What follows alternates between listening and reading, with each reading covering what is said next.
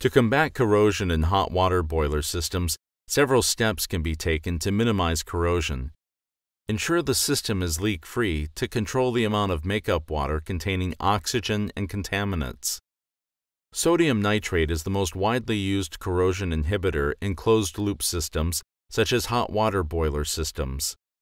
Sodium sulfite and sodium bisulfite are often used as oxygen scavengers for steam boiler systems and hot water boiler systems.